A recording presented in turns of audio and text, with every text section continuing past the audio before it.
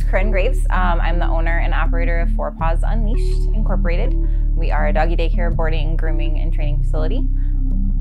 I opened in May of 2007. Jeff was a client of mine. He brought his dogs and he just kind of brought it to my attention that the way things should be done instead of just having a computer sitting on our desk that could fail, which it did, and we lost everything, um, that he could set it up so that if our computer failed on that was sitting on our desk, we could just grab another computer and we're right back in business. And that was really enticing.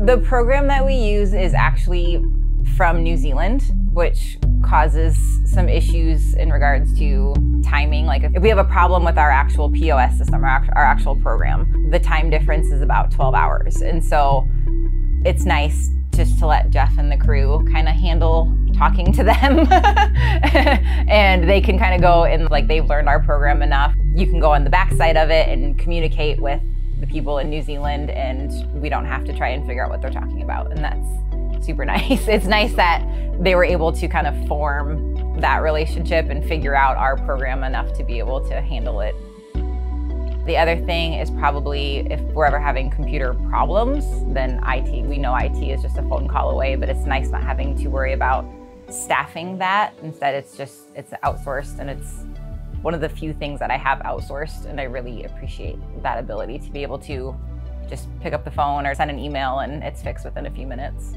Again, it's that peace of mind that if that computer crashes, you're right back up and going again.